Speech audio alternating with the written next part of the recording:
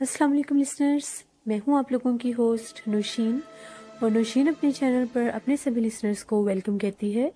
Listeners کیسے ہیں آپ سب؟ اور میرے چینل کی خوفناک کہانیوں کو کتنا انجوائے کرتے ہیں؟ اپنا فیڈ بیک مجھے ضرور دیں۔ آج آپ لوگوں کے لیے میں بیک ٹو بیک دو ہارر انسیڈنٹ لے کر آئی ہوں جو میرے ساتھ میرے لسنرز نے شیئر کیے ہیں۔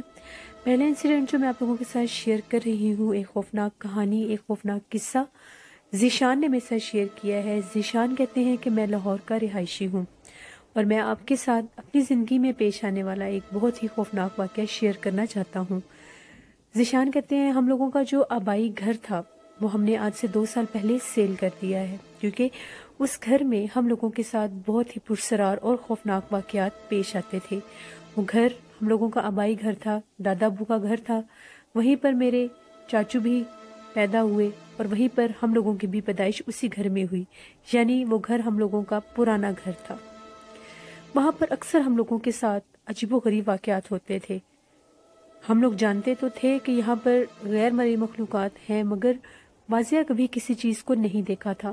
ایک دفعہ ایسا ہوا کہ میری فیملی جو ہے وہ چاچو کے پاس ساہیوال گئے ہوئے تھے۔ میں اور میرے بڑے بھائی گھر میں اکیلے تھے۔ اوپر والے پورشن میں ہم رہتے تھے اور نیچے والے پورشن میں چھوٹے چاچو رہتے تھے۔ جو چھوٹے چاچو تھے وہ خود آؤٹ آف کنٹری ہوتے تھے، لیکن ان کی فیملی نیچے والے پورشن میں رہتے تھے۔ وہ بھی چچی جو تھیں، وہ بھی اپنی امی کے گھر گئی ہوئی تھیں یعنی دونوں پورشن خالی تھے۔ میرے بھائی کی جو جاب تھی، وہ ایوننگ میں ایوننگ شفٹ تھی ان کی۔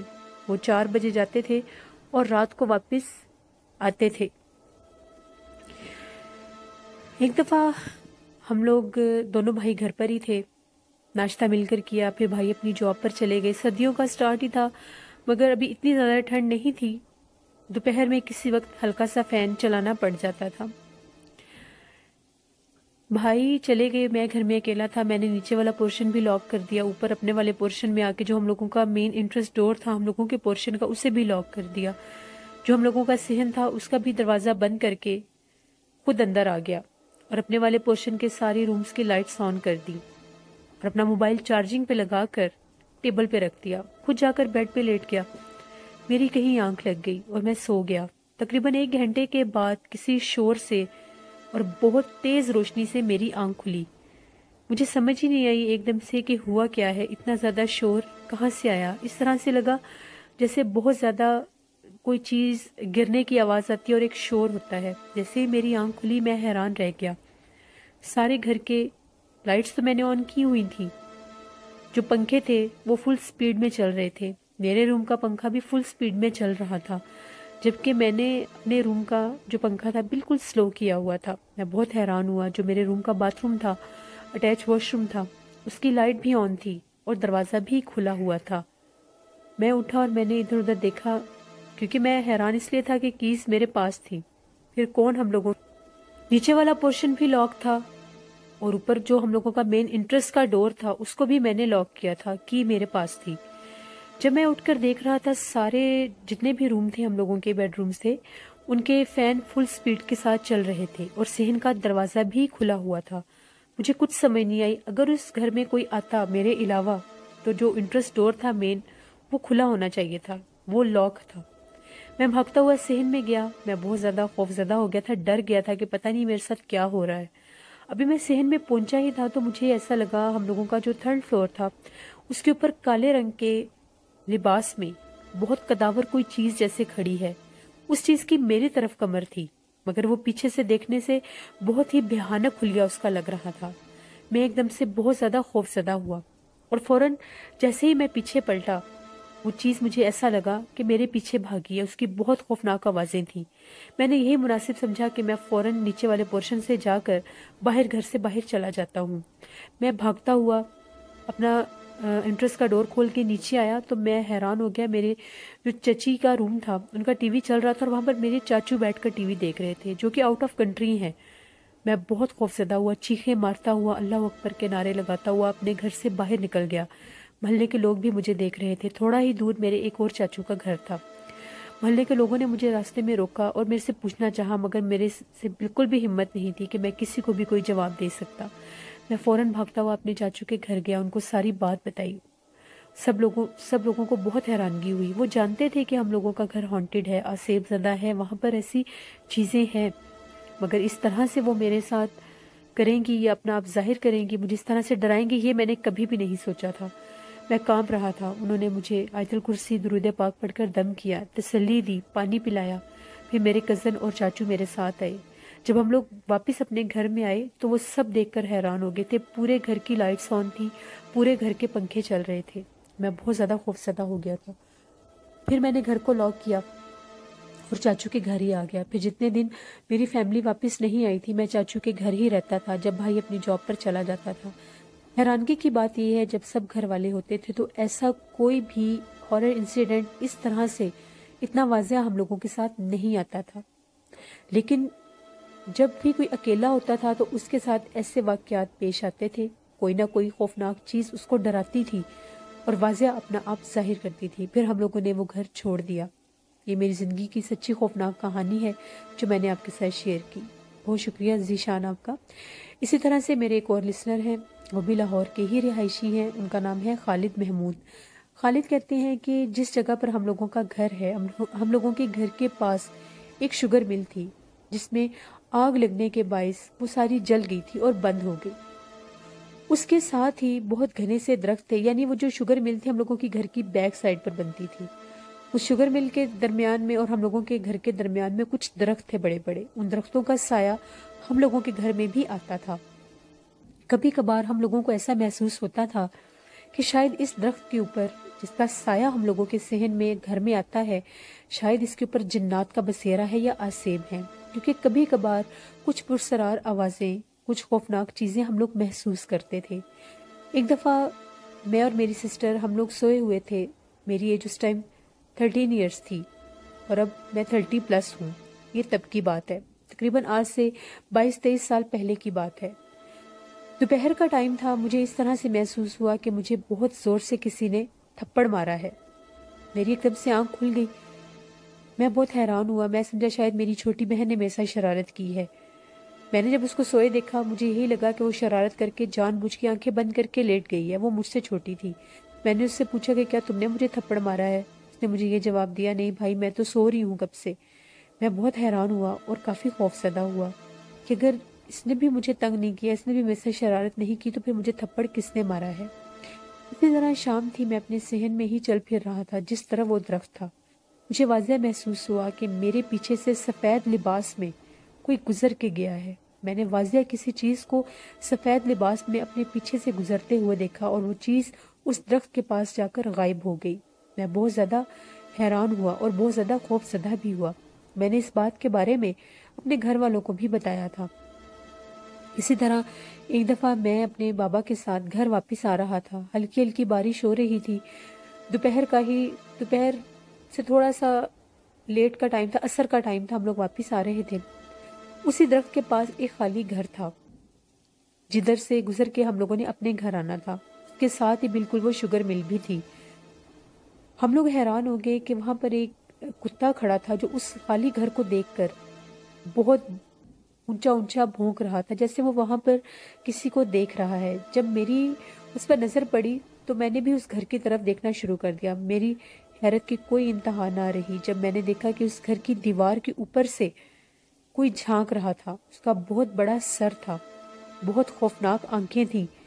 ایسا لگ رہا تھا جیسے اس کی آنکھیں بالکل سپارک کر رہی ہیں۔ اتنی روشنی اس آنکھوں میں سے نکل رہی تھی۔ بہت کالا اس کا رنگ تھا۔ میں نے چیخیں مارنا شروع کر دی، میری چیخوں کی آواز سن کے گھر والے بھی باہر آ گئے۔ میں نے سب کو بتایا کہ میں نے وہاں پر کسی چیز کو دیکھا ہے، وہ چیز باہر جھانک رہی تھی اور وہ کتا بھی وہی کھڑا ہو کر مسلسل بھونک رہا تھا۔ گھر والے مجھے اپنے ساتھ گھر لے گئے۔ میں کافی دن بیمار رہا، مجھے بہت سا بخار ہو گیا تھا۔ آج بھی کبھی میں وہ دن یاد کرتا ہوں تو میں بہت ڈر جاتا ہوں۔ ایسے بہت سے واقعات ہم لوگوں کی زندگی میں اس گھر میں ہمارے ساتھ پیش آئے تھے۔ ایسی چیزیں انسان کے ذہن پر اثر چھوڑ جاتی ہیں۔ یہ میرے خوفناک قصے تھے جو میں نے آپ کے ساتھ شیئر کیے۔ بہت شکریہ خالد آپ کا۔ بزنس یہ بات بالکل ٹھیک ہے۔ انسان کی زندگی میں بعض اوقات جب انسان کے کانشیس میں نہیں ہوتا کہ ہم لوگوں کے ساتھ اچانک سے کچھ ہو جائے گا، تو وہ خوف زدہ ہو جاتا ہے۔ کیونکہ وہم و گمان میں نہیں ہوتا کہ ہمیں کوئی چیز ڈرا دے گی یا ہمارے سامنے کوئی چیز آ جائے گی یا اس طرح سے کوئی غیر مری مخلوق اپنا آپ ظاہر کر دے گی۔ پھر جب ان لوگوں کے ساتھ ایسے واقعات ہوتے ہیں تو وہ ڈر جاتے ہیں اور ڈرنا بنتا بھی ہے کیونکہ جو چیز آپ کو نظر نہیں آتی، جب وہ آپ کو ڈراتی ہے تو وہ خوف پھر اپنے بس میں نہیں رہتا۔ اسی طرح میری ایک اور لسنر ہے، اپنا نیم اونیت نہیں کرواتی وہ۔ وہ بتاتی ہیں کہ لاہور لبرٹی روڈ کے پاس ہی ایک دفعہ ان کے چاچو اور ان کے دوست رات کو گھر واپس آ رہے تھے۔ ان لوگوں نے دیکھا کہ روڈ کی دوسری طرف ایک بہت خوبصورت لڑکی کھڑی ہوئی تھی، بالکل اکیلی۔ رات کا ٹائم تھا۔ ان دونوں کی نظر پڑی کہ اتنی رات کو اکیلی لڑکی روڈ کی اس طرف کیا کر رہی ہوگی۔ ان لوگوں نے جب اس لڑکی کی طرف دھیان دیا، دیکھنا چاہا تو وہ لڑکی اشارہ کر کے انہیں ہی اپنی طرف بلا رہی تھی۔ چاچو کے دوست نے یہ کہا کہ ہو سکتا ہے کسی کو مدد کی ضرورت ہو، ہمیں ان کی مدد کر دینی چاہیے۔ انہوں نے اپنے دوست کو کہا کہ یہ کوئی غیر مری مخلوق ہے، اس کے پاؤں الٹے ہیں، یہاں سے بھاگتے ہیں۔ ابھی وہ لوگ یہ باتیں کر ہی رہے تھے۔ اس نے ایک دم سے بازو ان کی طرف بڑھایا اور اس کے بازو بہت لمبے ہو گئے۔ جب انہوں نے یہ ماجرا دیکھا، ساتھ ہی اس کا چہرہ بھی بگڑ گیا۔ وہ چیخے مارتے ہوئے وہاں سے بھاگ گئی۔ وہ کہتی ہیں کہ وہ روڈ بہت ہانٹیڈ ہے۔ اکثر لوگوں کے ساتھ وہاں پر خوفناک حادثے ہوتے ہیں۔ وہ کہتی ہیں کہ میں اس روڈ کا اسپیسیفک نیم نہیں بتا سکتی، مگر لبرٹی کے پاس ہی اس چوک میں ہی وہ روڈ ہے جہاں سے اکثر لوگ ڈر جایا کرتے ہیں۔ ہم لوگوں کے ساتھ بہت سی ہیپننگز اکثر اس روڈ پر ہوئی ہیں۔ ایک دفعہ میری سسٹر کی طبیعت ٹھیک نہیں تھی۔ بھائی اور امی سسٹر کو ہاسپٹل لے کر گئے۔ سردیاں تھیں جب وہ لوگ واپس آ رہے تھے۔ اسی روڈ کو کراس کرنے لگے تو ایک دم سے ان کی گاڑی کے اوپر بہت زور زور سے کسی چیز نے انڈے پھینکے۔ وہ لوگ بہت ڈر گئے کہ ہم لوگوں کی گاڑی کے اوپر انڈے کون پھینک رہا ہے۔ انہوں نے جب گاڑی کھڑی کر کے دیکھا تو انہیں دور دور تک کوئی نظر نہیں آیا۔ صبح جب بھائی نے اپنی گاڑی صاف کی تو وہ حیران ہو گئے کہ وہ گاڑی اندر سے بھی کافی زیادہ گندی ہو چکی تھی۔ انہوں نے امی کو بتایا کہ میری گاڑی میں گجرے کے پھولوں کے گجرے تھے۔ موتیے کے پھولوں کے گجرے تھے، جس کی وجہ سے ہم جب وہاں سے گزرے تو ان چیزوں نے ہم پر حملہ کیا۔ بہت شکریہ آپ کا۔ آپ نے اپنے ہارر انسیڈنٹ ہمارے ساتھ شیئر کیے۔ لسنرز، میں ہمیشہ اپنی ویڈیوز میں آپ لوگوں کو یہ میسیج دیتی ہوں کہ کبھی بھی چمبیلی کے پھول اپنی گاڑیوں میں مت رکھا کریں۔ چمبیلی کے پھولوں کے اوپر یہ چیزیں بہت زیادہ عاشق ہوتی ہیں۔ ان کو بہت زیادہ چمیلی کے پھولوں کی خوشبو اٹریکٹ کرتی ہے۔ خاص طور پر چڑیل جو ہوتی ہے۔ وہ موتیے کے پھولوں پر بہت زیادہ عاشق ہوتی ہے۔ ہم لوگوں کے ریلیٹیوز ہیں، گاؤں میں رہتے ہیں۔ ان لوگوں کا، گاؤں کا آپ لوگوں کو پتہ ہے جو کلچر ہوتا ہے، بڑے بڑے گھر ہوتے ہیں وہاں پر۔ ان لوگوں کا گھر بھی بہت بڑا تھا۔ صحن کے ایک کارنر میں ان لوگوں نے اپنے گھر میں بہت خوبصورت سے پھول اور پودے لگائے ہوئے تھے۔ صحن کے اسی ایک کارنر میں ان لوگوں نے کافی زیادہ چمیلی کے پھولوں کے پودے لگائے ہوئے تھے۔ ایک دفعہ جب وہ پودے سارے کھل گئے، ان کے اوپر بہت بڑے بڑے چمیلی کے پھول تھے اور ان کی خوشبو بہت زیادہ پھیلی رہتی تھی۔ پورے صحن میں فل مون نائٹ تھی، سردیاں ہی تھیں۔ وہ لوگ سارے اپنے کمروں میں سوئے ہوئے تھے۔ رات کے ٹائم ان لوگوں کو ایسا محسوس ہوتا تھا کہ پاؤں میں پائل پہنے ان چبیلی کے پھولوں کے پاس جیسے کوئی چلتا پھرتا ہے اور اس کی آواز بہت زیادہ واضح ہوتی ہے۔ ان میں سے جب وہ جو انکل تھے، انہوں نے جب جب آواز سنی پائل کی آواز جب انہیں آئی، تو ان سے رہا نہیں گیا۔ انہوں نے یہی سوچا کہ میں ایک دفعہ دیکھتا ہوں کہ آخر یہ رات کے ٹائم آواز کہاں سے آتی ہے۔ آواز ہم لوگوں کے صحن میں سے ہی آ رہی ہوتی ہے۔ پھر یہ آواز کس چیز کی ہے؟ انہوں نے اپنے کمرے کا دروازہ کھولا اور برامدے میں آئے۔ جیسے ہی برامدے میں آئے تو وہ فل مون نائٹ میں ویسے ہی چاند کی چاندنی اتنی زیادہ ہوتی ہے کہ روشنی میں آپ دیکھ سکتے ہیں۔ بہت بڑا ان کا صحن تھا۔ جس طرف ان کے وہ چمیلی کے پھول اور پودے تھے، وہاں پر انہوں نے دیکھا کہ سفید لباس میں کوئی لڑکی ہے جو ان چبیلی کے پھولوں کے پاس چل پھر رہی ہے۔ بہت لمبے لمبے اس کے بال ہیں۔ جب انہوں نے ادھر کسی کو کھڑے دیکھا تو انہوں نے پوچھا، کون ہے وہاں پر؟ ابھی ان کا یہ پوچھنا ہی تھا۔ کہ وہ چیز وہ جو ساتھ درخت لگے ہوئے تھے، اس طرف گئی اور غائب ہو گئی۔ وہ بہت زیادہ حیران ہوئے۔ گاؤں کے لوگ ایسے بھی ذرا بہادری ہوتے ہیں۔ وہ فوراً آگے گئے۔ لالٹائن لے کر آگے گئے کہ میں اس روشنی میں جا کر دیکھتا ہوں۔ ابھی میں نے یہاں پر کسی کو دیکھا ہے۔ تو یہاں پر کون تھا؟ جو وہ ادھر گئے، لائٹ لے کر وہاں پر کوئی بھی نہیں تھا۔ وہ چیز درختوں میں جا کر غائب ہو چکی تھی۔ بہت حیران تھے وہ اور اس ٹائم ادھر چبیلی کی بہت زیادہ خوشبو تھی۔ ان پھولوں کی خوشبو بہت مہک رہی تھی۔ وہ پھر کمرے میں آئے اور آ کر سو گئے۔ پلٹ کر بھی پیچھے دیکھ کر مگر کچھ نظر نہیں آیا۔ ٹھنڈ بہت زیادہ تھی، دھن بھی تھی، مگر وہ چیز غائب ہو چکی تھی۔ اگلے دن انہوں نے صبح جاگ کر یہ بات گھر والوں کے ساتھ شیئر کی کہ آج بھی میری رات کو جب آنکھ کھلی تھی تو میں پائلوں کے چھنکنے کی آواز سن رہا تھا۔ جیسے کوئی پائل پہن کے چلتا ہے تو میں نے رات کے ٹائم وہاں پر کسی کو چلتے دیکھا ہے۔ سب گھر والے بہت حیران ہوئے اور خوف زدہ بھی ہو گئے۔ شام کا ٹائم تھا۔ مغرب کے بعد کھانا وغیرہ بنا کر وہ لوگ کھانا کھا رہے تھے۔ اس کے بعد ان کی بیٹی وہیں پر صحن میں ہی بیٹھ کر برتن وغیرہ دھو رہی تھی۔ کیونکہ ٹائم کے ساتھ ہی اپنا سارا کام وائنڈ اپ کر کے وہ لوگ جلدی سونے کے عادی ہوتے ہیں۔ ایک دم سے اسے ایسا لگا کہ اس کے پاس جیسے کسی نے پتھر پھینکا ہے۔ سہن میں ہی بیٹھ کے ایک سائڈ پر وہ برتن دھو رہی تھی اور سہن کے دوسرے کارنر پر وہ سارا جو انہوں نے چھوٹا سا باغیچہ بنایا ہوا تھا وہ تھا۔ اس نے ادھر ادھر دیکھا کہ میرے پاس کیا چیز آ کر گری ہے۔ دیکھا تو ایک پتھر تھا۔ وہ بڑی حیران ہوئی کہ پتھر کس نے پھینکا ہے۔ اپنی امی سے پوچھا کہ چھوٹے بھائی نے تو نہیں پتھر پھینکا؟ اس کی امی کا یہ کہنا تھا کہ نہیں، وہ تو اندر کمرے میں ہے۔ جہاں پر تو صرف میں بیٹھی ہوئی ہوں۔ پھر وہ کام کرنے لگی۔ پھر اس کا نام لے کر اس کو کسی نے آواز دی۔ جس چیز نے اس کو آواز دی، وہ بھی کسی لڑکی کی ہی آواز تھی۔ پھر وہ ادھر ادھر پلٹ کر دیکھنے لگ گئی اچانک اس کی نظر پڑی تو اس کو ایسا لگا کہ ادھر ہی چبیلی کے پھولوں کے پاس جیسے کوئی بیٹھا ہوا ہے۔ وہ اٹھی اور جا کر غور سے دیکھنے لگی کہ یہاں پر کیا چیز۔ ابھی سب جاگ رہے تھے، اس کے ذہن میں بھی نہیں تھا کہ یہاں پر کوئی اور چیز بھی ہو سکتی ہے۔ یا شاید جو بات انکل نے بتائی تھی، ان کے ذہن سے وہ سکپ ہو چکی تھی۔ وٹ ایور وہ اس آواز کو سنتے اور اس چیز کو دیکھتی ہوئی اس طرف جانے لگی۔ ان کے سہن میں ایک بلب جل رہا تھا، جس کی روشنی وہاں تک بھی جا رہی تھی۔ اس نے وہاں پر جیسے ہی کسی کو بیٹھے دیکھا، وہ چیز بالکل چمبیلی کے پودوں کے پاس بیٹھی ہوئی تھی۔